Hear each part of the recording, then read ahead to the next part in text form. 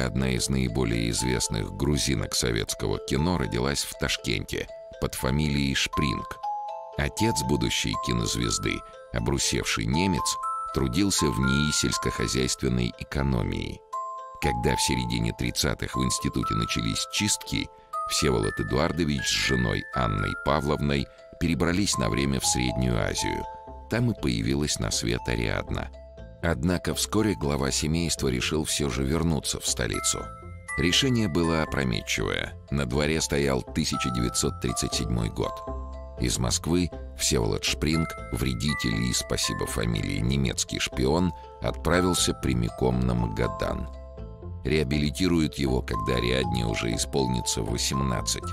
По счастью, ни жену, ни дочь врага народа не тронули – и Ариадна спокойно закончила школу и поступила в Авгик, поскольку с детства мечтала быть актрисой. Ариадна Шпринг дебютировала в кино еще студенткой в производственной драме Екатерина Воронина. Тонкая, юная, с горящими глазами, уже в первой своей роли актриса запомнилась зрителям. Ее бунтарка Ирина влюбила в себя буквально всех. Моя мама была врачом. И я тоже буду врачом. Хочу ходить в белом халате.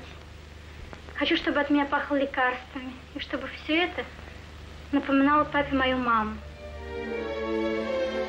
А уже в следующем, 1958 году, Ариадна впервые сыграла главную роль.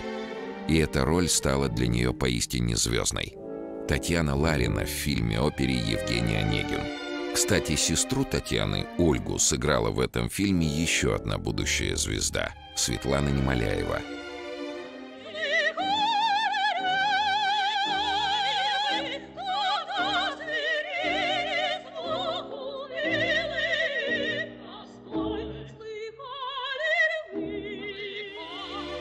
она меня просто поразила, Ара. Она вот так была незаметная. Но когда ее гримировали, причесывали, и, и главное, когда она выходила под эту музыку, она совершенно преображалась. И не только лицо было безумно красивым, но еще внутреннее какое-то сияние, внутренний мир какой-то. Он просто вот э, шел через ее внешность, через ее взгляд, через ее какие-то движения пела Татьяна Ларина голосом Галины Вишневской.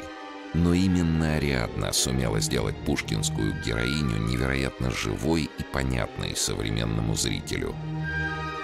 Талант молодой актрисы был оценен по достоинству. Она получила первую премию на Московском кинофестивале, а также главный приз на Всесоюзном фестивале в Киеве. Однако звездой экрана Шпринг стать не успела – к этому времени Ариадна уже поменяла фамилию на Шенгелая. И это не было попыткой, как думали многие, отречься от своих корней и начать все с чистого листа.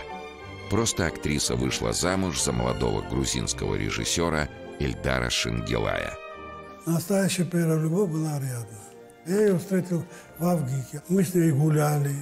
И однажды мы пошли в церковь, поставили свечи, и в Арагве был наш, э, так сказать, праздник. Потом мы в квартире на Новодержинской жили, и там родилась у нас Наташа.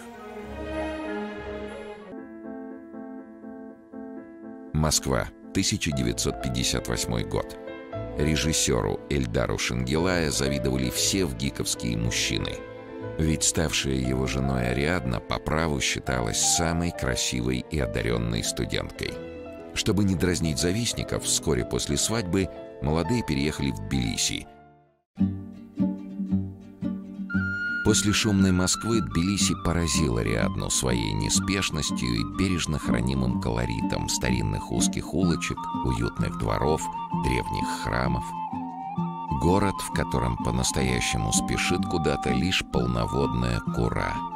Он и сегодня такой.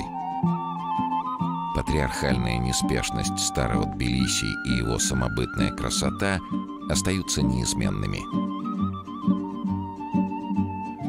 Переехав в столицу Грузии, Шангелая стала актрисой русского драматического театра имени Грибоедова. Она в Грибоедовском театре сыграла дневник Анны Франк. Это было замечательно.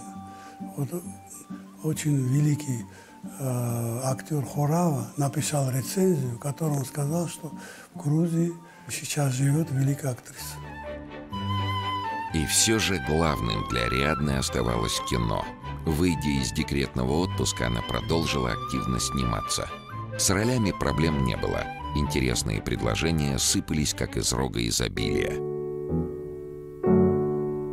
В 1964 году режиссер Абрам Ром пригласил Ариадну на роль княгини Веры Николаевны в экранизации повести Куприна «Гранатовый браслет». Ну, гранатовый браслет – классика, это всегда приятно посмотреть. Вы понимаете, даже те роли, которые достались нам из классики, они же тоже прибавляют образование. Это очень важно. Ты начинаешь изучать материал, и это входит в твою плоть. Я сжигаю все самое дорогое, что было у меня в жизни – Ваш платок, который, я признаюсь, украла на балу в благородном собрании. Вашу перчатку, оставленную в цирке. Программу художественной выставки, которую вы однажды держали в руке. Кончено. Я все отрезал, но все-таки думаю, даже уверен, что вы обо мне вспомните. За эту роль Ариадна Шенгелая по опросу журнала «Советский экран» была названа лучшей актрисой страны. После такого успеха Шангелая окончательно становится главной дворянкой советского кино. Теперь к ее фильмографии одна за другой добавляются все новые графини и княгини. Что? Что здесь происходит? Зачем это, милый? Милый! Маша, милая, успокойся. Разве ты не видишь, что мы шутим? Она, конечно, такая индивидуальность, личность такая, и женская суть, которая она как рождена для XIX века. Она безумно была хороша во всех этих нарядах, с этим гримом, с этими прическами, головными уборами. Иногда смотришь, сериалы идут или какие-то фильмы наспех сделанные, эм, какие-то э, исторические, то как-то сразу я вот ощущаю э, какую-то, может быть, и неправду, может быть, какой-то такой, знаете, легкомысленное отношение к истории этой. А вот а когда видишь э, Ару Шенгелая в таком костюме или э, в такой прическе, то никаких сомнений нет. Это женщина оттуда. Но неужели? Неужели вы так жестоки? Разве мстить для вас приятнее, чем прощать?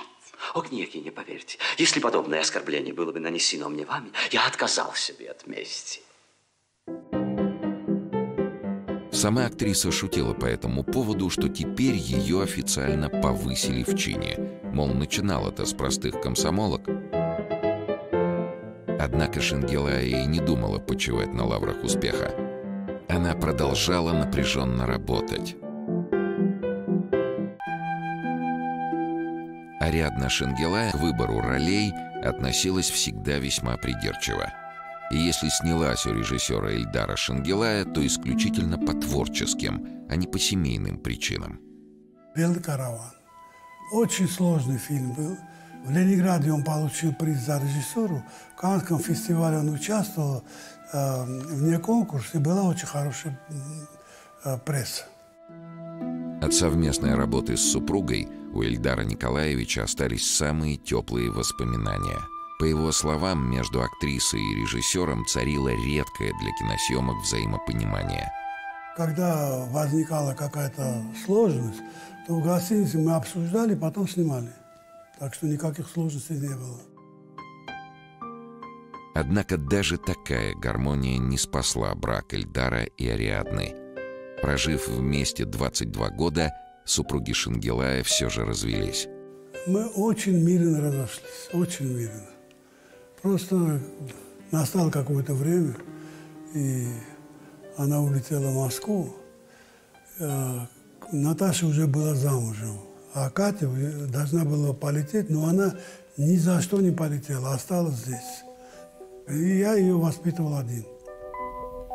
Ариадна же в это время разрывалась между Тбилиси, где росла ее младшая дочь, и Москвой, где актриса обрела свое личное счастье – ее новым избранником стал коллега, актер Игорь Копченко. Ариадна вернулась в Москву, но в свою Москву, не затронутую бурлящим столичным ритмом. Уютные дворики, зеленые бульвары, скверы, улочки, залитые солнцем. Эта Москва навевала ей воспоминания от Тбилиси. Но неизбежные при переезде житейские трудности Ариадне сглаживало свежеобретенное семейное счастье. Популярность Ариадны Шангелая после ее нового замужества и возвращения в Москву, увы, пошла на спад.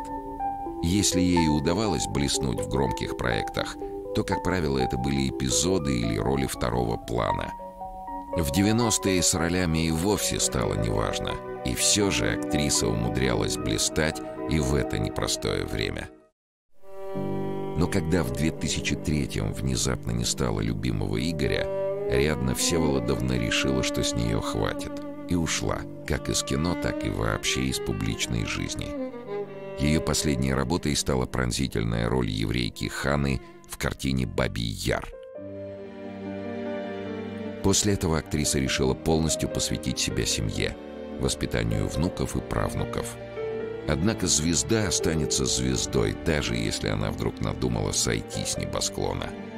Однажды иду по Тверскому бульвару и слышу классический голос. Берем песочек, насыпаем, да. Она сидит в песочнице со своей внучкой. Какое чудо! Я подошла и говорю, извините, пожалуйста, мне кажется, вы мне так напоминаете Ариадну Шангелай. Она говорит, Валька, прекрати. Неужели? Я говорю, конечно, пол Тверского бульвара слышит твой очарованный голос. Дело в том, что э, всегда прикрывалась шапочкой, чтобы никто не узнал. Впрочем, и в зрелые годы у Ариадны Шангелая нет ни единого шанса остаться неузнанной. Как-то я видела ее мы где-то встретились, или, может быть, в Доме кино, может, где-то еще. Она очень хорошо вы, выглядела и особенно не изменилась. Но возраст есть возраст, но она все равно и прямая, и изящная, тоненькая, и такие же тонкие, и изысканные черты лица. Дело в том, что внешность меняется только у идиотов. Если вы грамотно проходите свою жизнь, не виляя из стороны в сторону, то ваша внешность остается при вас. У Ары Шенгелая она всегда при ней. Это ее лицо, лицо ее духа –